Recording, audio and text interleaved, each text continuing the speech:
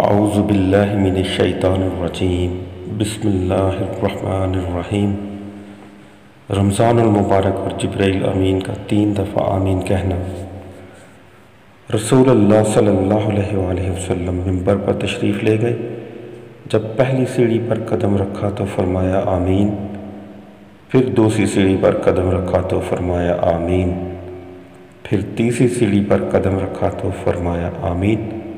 پھر اس کی وضاحت کرتے ہوئے فرمایا کہ میرے پاس حضرت جبریل علیہ السلام تشریف لائے اور کہنے لگے، اے محمد صلی اللہ علیہ وآلہ وسلم، جو شخص رمضان کا مہینہ پالے اور اس کی مغفرت نہ ہو، تو اللہ تعالیٰ اسے رسوا کرے. میں نے کہا، آمین. جب دوسری سیڑھی پر قدم رکھا تو حضرت جبریل علیہ السلام نے فرمایا، جو اپنے والدین یا ان میں سے کسی ایک کو پالے پھر ان کی نافرمانی کر کے جہنم میں داخل ہوا۔ تو اللہ تعالیٰ اسے رسوا کرے۔